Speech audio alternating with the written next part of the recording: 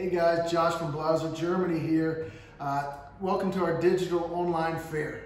Uh, thanks for all the comments and, qu and, questions you submitted on our last video. Uh, today we're going to get right into it with some information on the new products from Blaser, our accessories.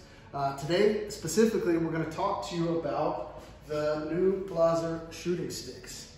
Uh, this is the carbon shooting stick 2.0 version with a few upgrades and improvements that we've made from the first version. We, we learned uh, and listened to some feedback from you guys and have come up with this 2.0 version uh, based, based on your input.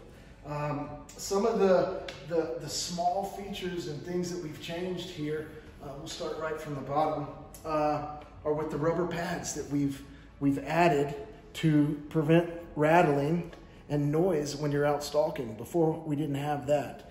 Um, we've improved these twist locks here. We've changed the pitch and angle and improved these so that once they're set, they won't come loose. Uh, much better, more secure design.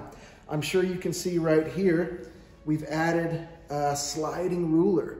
So what this allows for is repeatability. When you've set it up at 28, you come back to that 28 every single time.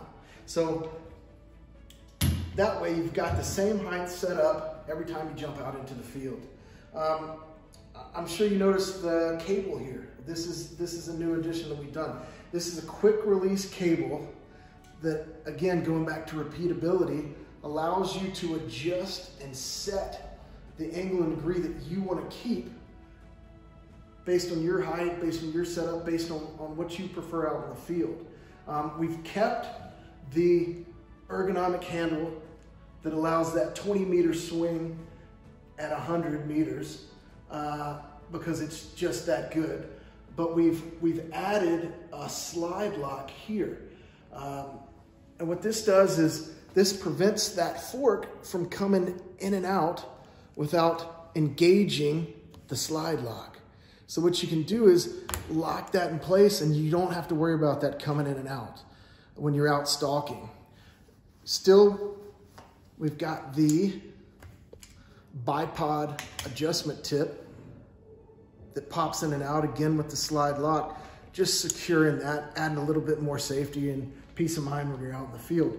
Um, another thing we've done is we've, we've made these now out of steel these out of aluminum and plastic before.